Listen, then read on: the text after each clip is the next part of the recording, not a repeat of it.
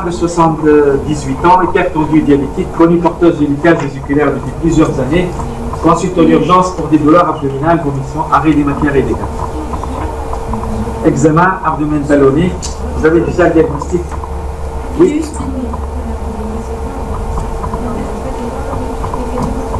Là, l'interprété, est On ne demande jamais dans un concours des radios interprétées. Examen, la conduite, bien sûr, il c'est une occlusion qui persiste et on n'a pas l'étiologie. Avec le scanner, on n'a pas avancé beaucoup, on ne sait pas où se trouve l'étiologie. Donc, ça peut être ischémique, ça peut être une bride, ça peut être aussi euh, une maladie inflammatoire, ça peut être beaucoup de choses. Comme on ne sait pas d'où vient l'occlusion et qu'elle persiste malgré la réanimation, dans le père opératoire, on a découvert la lésion qui est une bride. On l'a traité en section de la réseque, la bride.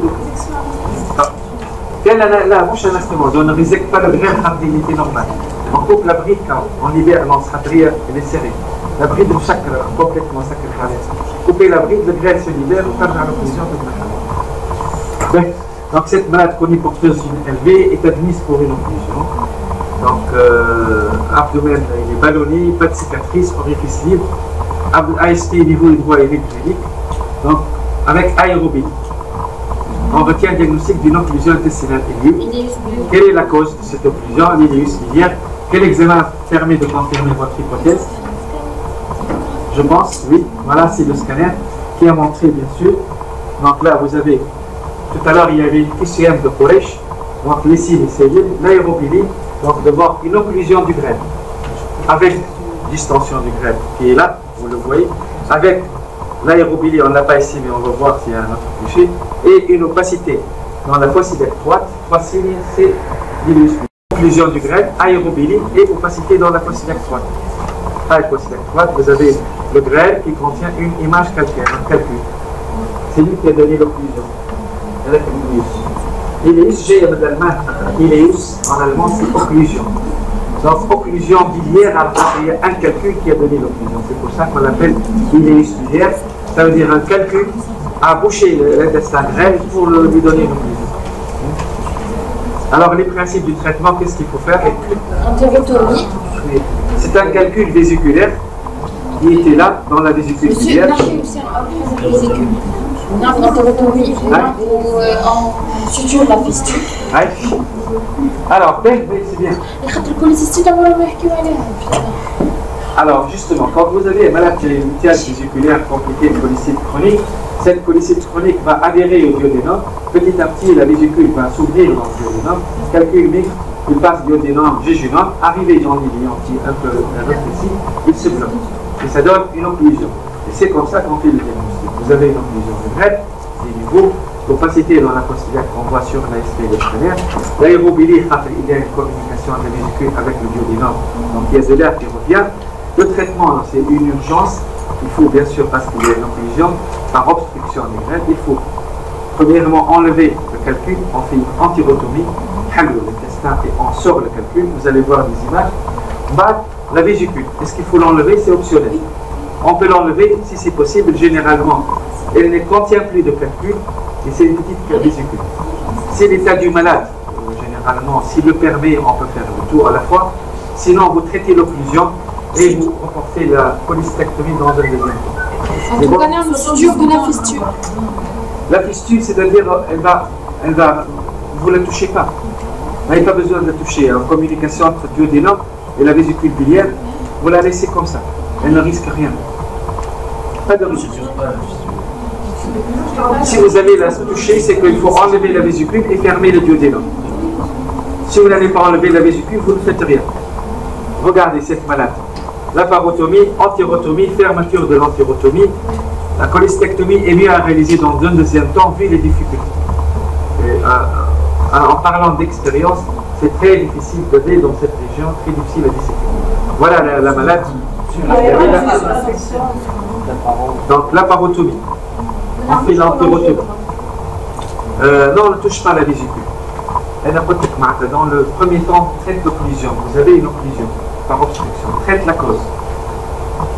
L'étiologie qui est la, la police aiguë, la on, peut, on peut la laisser de façon Elle ne court pas de risque si on opère pas cette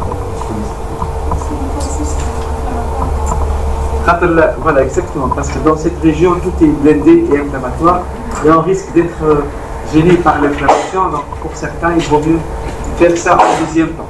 Fermeture de la euh, suture de la fistule. La fistule, tu ne la touches pas à bas, donc tu vas faire la cholestectomie.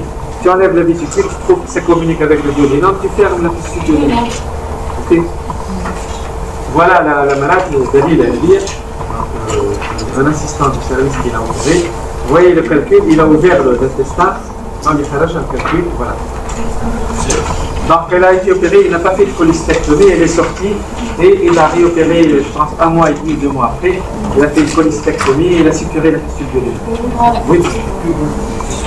Allez. Là, au niveau du but, but, bouche des deux. Le dieu des noms D1, c'est le but. Le but, ça, ça c'est l'entre, c'est le vésicule.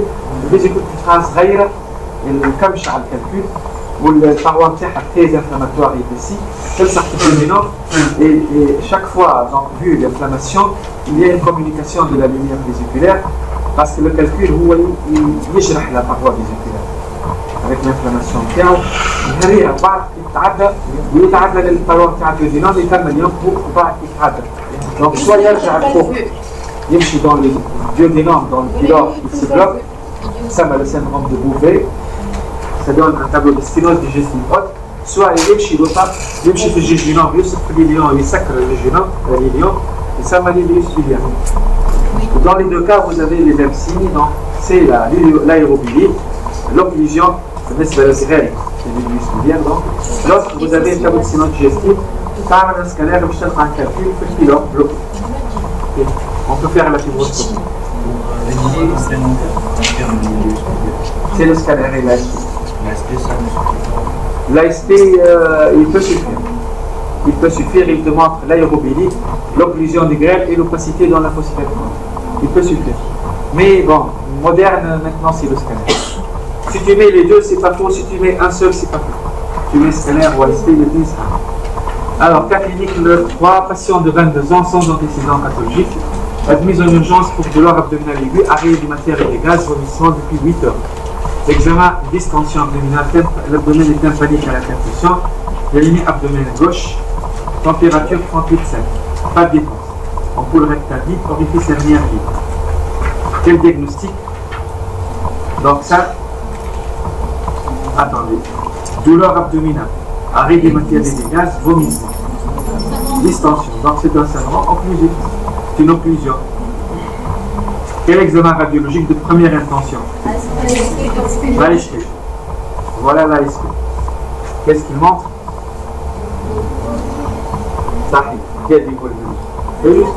Voilà, vous voyez l'anse. Elle est cassée, elle est de gauche. Elle est à double jambage, donc c'est l'anse sigmoïde, il est très lent et les gauche.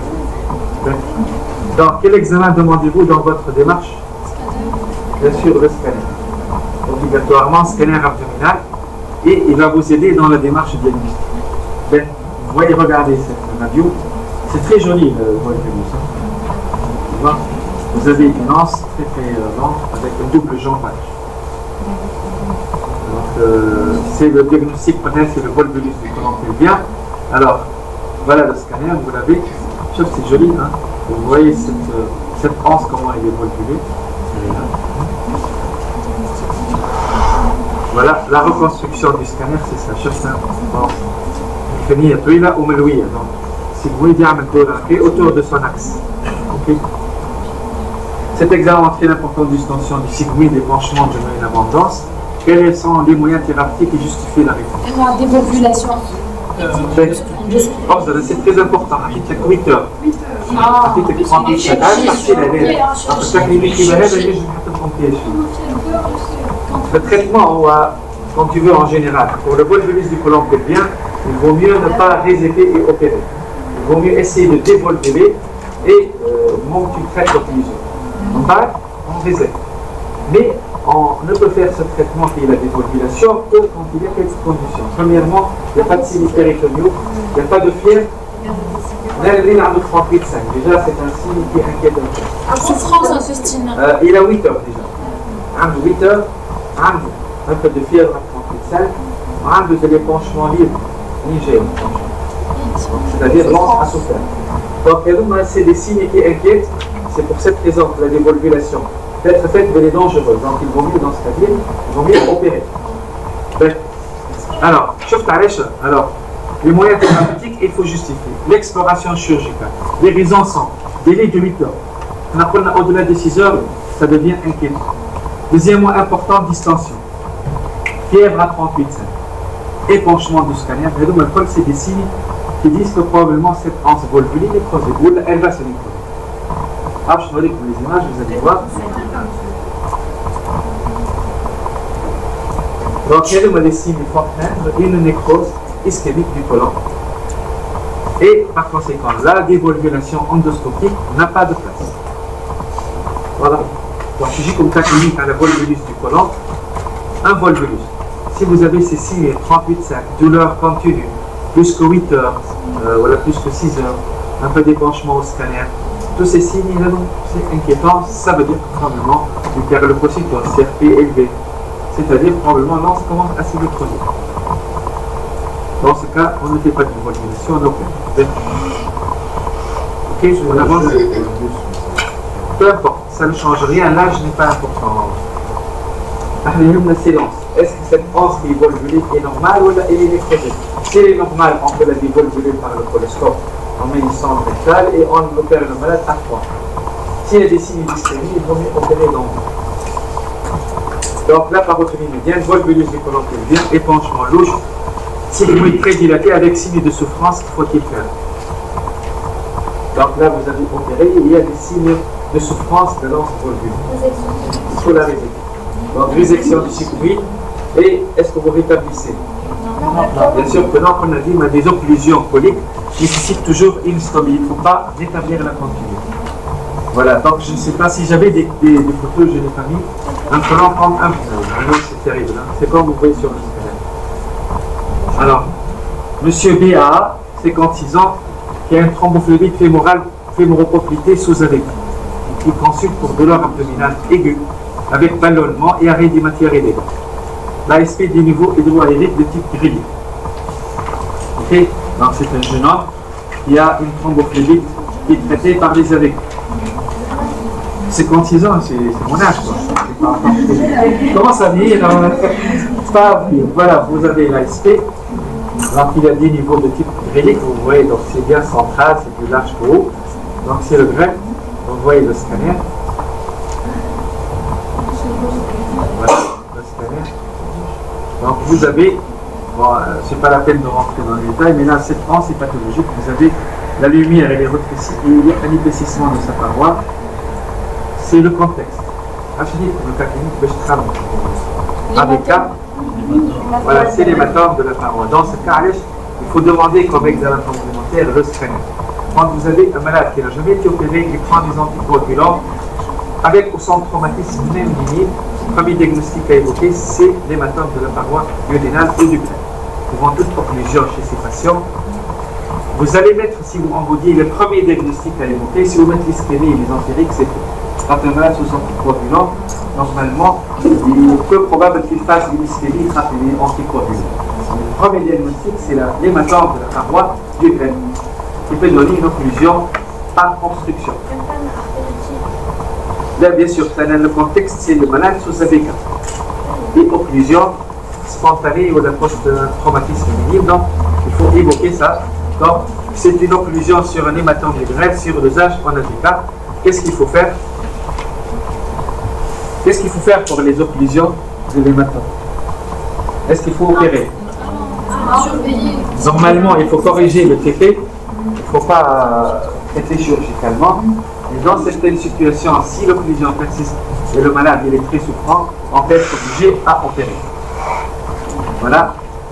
Donc, arrêt des AVK relié par l'héparine vapeur-moléculaire, mettre au repos le tube digestif, perfuser et opérer en l'absence d'amélioration. Donc, à peu près, oui.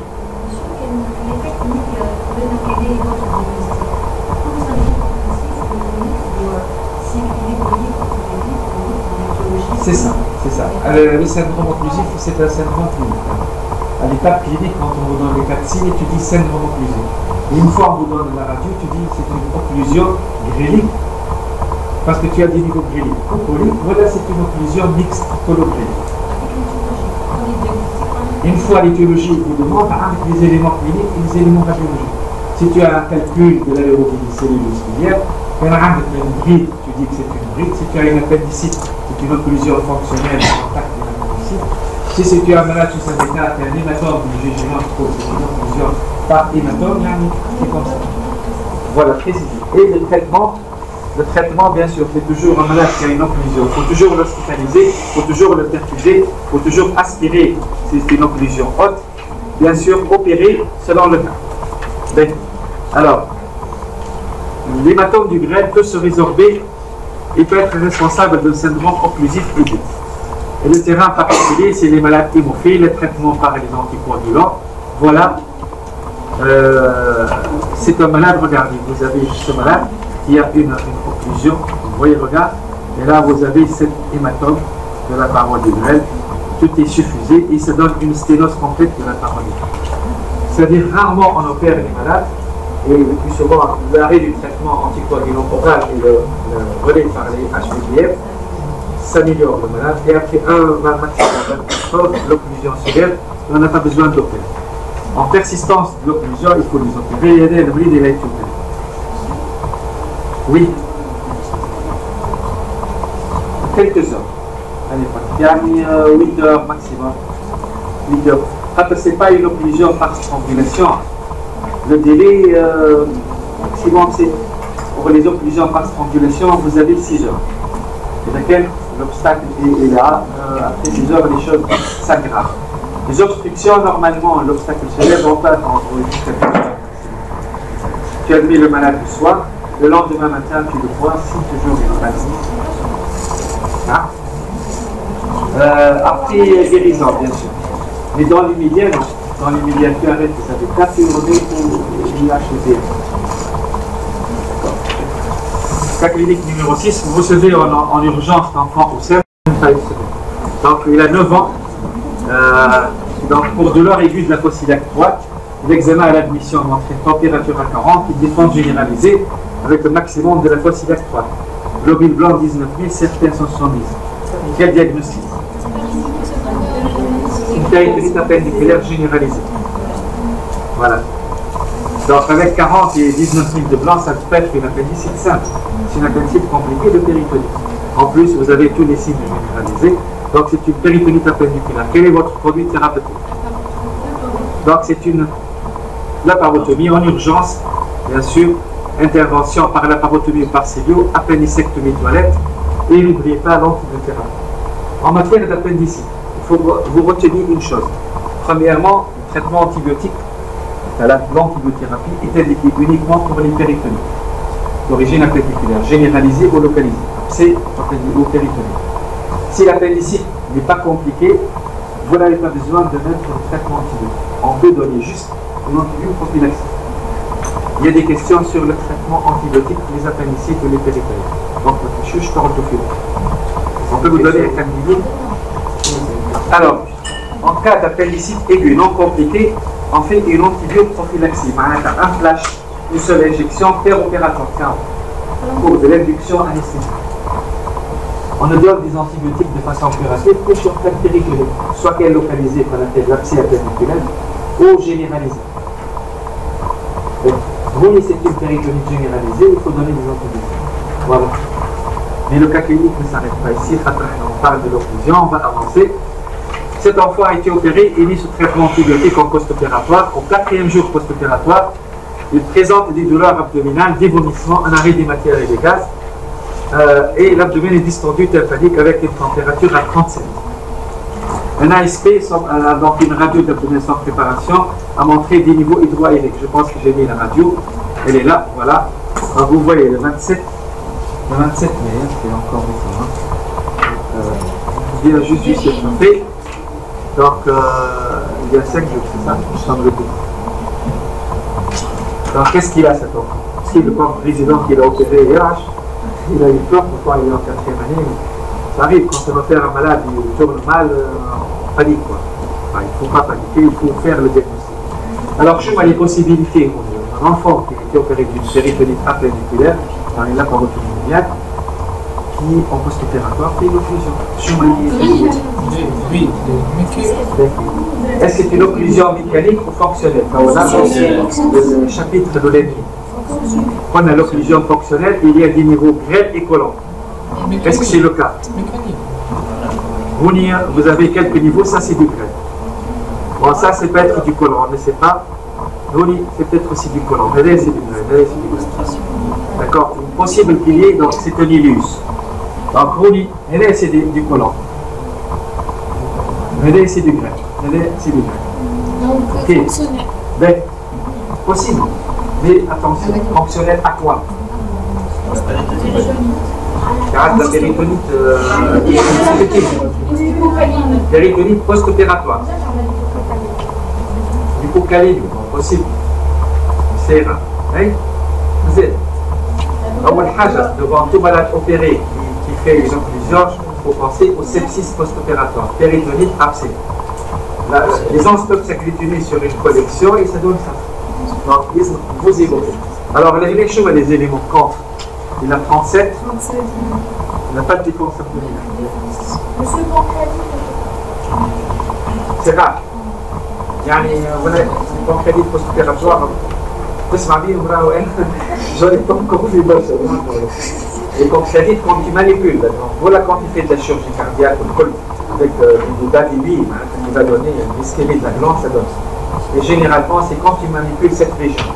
Tu touches le pancréas, tu peux se passer le pancréas, tu pas le C'est une glande euh, comme ça, la et puis l'amour, il faut la toucher doucement.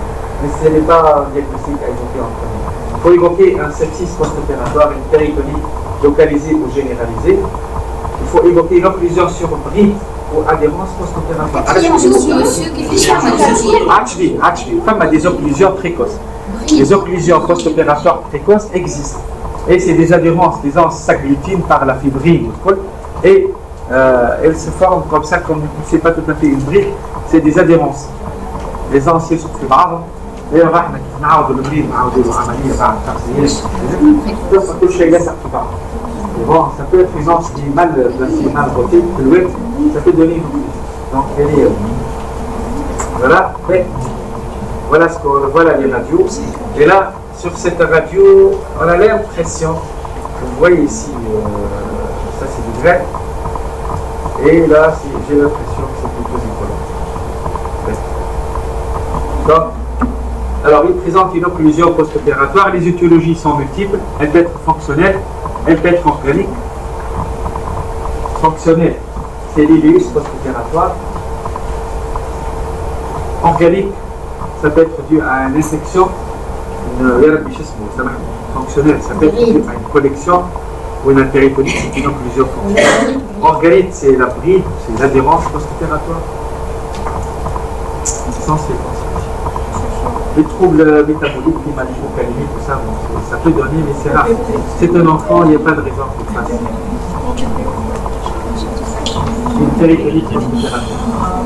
Devant tout enfant qui est opéré à, il y a 5 jours, qui fait une occlusion au diagnostic à évoquer, c'est la péritonite post-opératoire.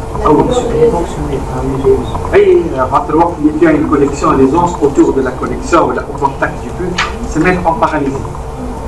L'intestin qui baigne dans le pus, il est en paralysie. C'est-à-dire l'occlusion fonctionnelle. Là, c'est une péritonite post-opératoire. Avec la charge du moignon. Une péritonite parce que la, la pénicilline mais le moignon il est lâché. Donc les matières ça donne un abcès. Moi, mes examens, c'est essentiellement le scanner. Euh, le TDM a montré une distension de graines, pas de collection. Donc le diagnostic, c'était l'ilus post-opératoire. C'est juste pour vous montrer un peu quand un malade est opéré, même dans le post-opératoire précoce, on peut avoir une occlusion. Vous voyez comme les possibilités à évoquer. L'occlusion fonctionnelle, qui peut être due à une péritonite localisée ou généralisée, qui peut être due à un trouble métabolique, et je hypocalémie maintenant. Voilà, ça peut être une occlusion mécanique parce qu'il y a des adhérences ou une brique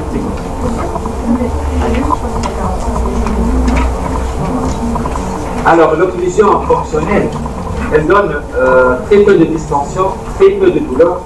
Donc c'est pas comme l'occlusion mécanique. Le malade il a un ballonnement de l'abdomen, mais il n'a pas très très mal. Et la différence, c'est quand vous mettez l'auscultation, votre euh, stéthoscope sur l'abdomen, il n'y a pas de bruit intestinal. C'est-à-dire que la différence, c'est une occlusion mécanique. La cause. La cause, c'est la paralysie. Paralysie. L'anesthésie, maintenant, le malade, le vous avez manipulé les produits anesthésiques qu'on a donnés vont paralyser, donc le est paralysé par les effets, par les effets, les, les médicaments anesthésiques.